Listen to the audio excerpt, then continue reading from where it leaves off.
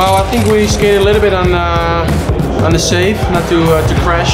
I think when we finished, we uh, we heard that uh, the Can Canadians uh, made a mistake, and um, and then I realized, uh, yeah, maybe we, I can actually win this. So uh, in Holland, we say if you win, it's a win. So yeah, I'm happy about it, but. If you just look closely, I think we could could have skated better, but uh, for the next time. Right here.